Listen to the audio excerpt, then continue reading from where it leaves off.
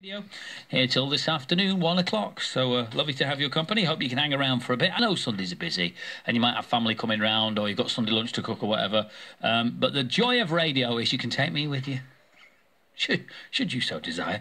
Uh, and it'd be nice if you did. Listen, get in touch. 61054, my text number. Put Andy at the beginning of your message. Already uh, somebody has. Uh, well, lots have, but this is uh, a Sunday celebration. Please say congratulations to Mary King Wallace and the kids, Jess and Jake who did a sponsored walk uh, and they raised £613.50 for the YMCA. Well done. Congratulations. If I had a round of applause sound effect or a studio audience, I'd get them to cheer. I haven't. But well done, uh, Mary. Uh, and Jess and Jake, congratulations on uh, on your money raising efforts. Uh, congratulations also to the cyclists, uh, Jason Kenny and Laura Trott, or she might be now Laura Kenny. I don't know whether she's taking the, the surname. Um, but the, the Olympic gold medalists, the golden couple, uh, went and got married, but they didn't tell anybody, except their family, obviously. Uh, and the, the, photographs are doing the rounds on social media. They'll be in the they'll be in the press very quickly, I'm sure.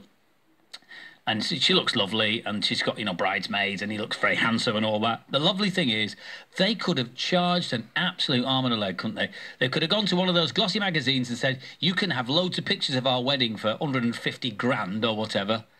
but they didn't. They didn't even tell any press. They just said, you know what, it's us and about us and our family, and we're going to get married privately. And they did. And then Laura's dad announced it. He must have been exploding with pride. Um, so, anyway, people know now and they're happily married. So, congratulations to Mr. and Mrs. Kenny this morning. 61054, my number. Uh, put Andy at the beginning if you have anything you want to celebrate with everyone else this Sunday morning. One other thing. Last night, for us at